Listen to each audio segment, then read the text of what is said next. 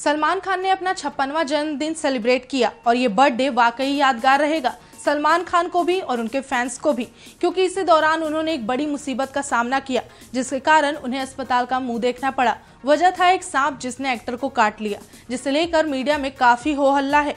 Fans भी बेहद चिंतित दिखे और अपने चहेते सेल्फ की सलामती की दुआ की। लेकिन इस घटना के कारण लोगों की नज़रें बजरंगी भाईजान के जन्मदिन के खास मौके पर मिल रही बधाई पर नहीं जा पाई।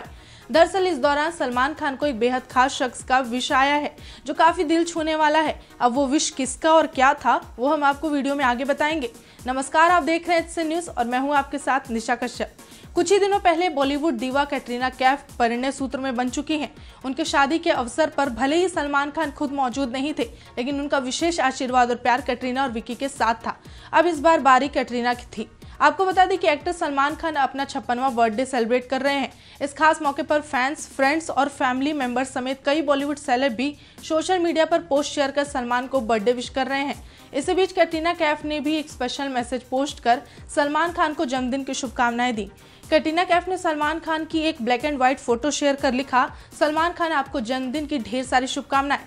भगवान करे जो प्यार, चमक और हुनर आपके पास है, वो हमेशा यूँ ही बरकरार रहे। कटरीना और सलमान दोनों ही जल्द अपनी अपकमिंग फ़िल्म टाइगर थ्री में एक साथ नज़र आने वाले हैं। वहीं आपको बता दें कि अजय देवगन ने भी सलमान के साथ की एक थ्रोबैक फ़ोटो शेयर कर लिखा हैप्पी बर्थडे सलमान खान।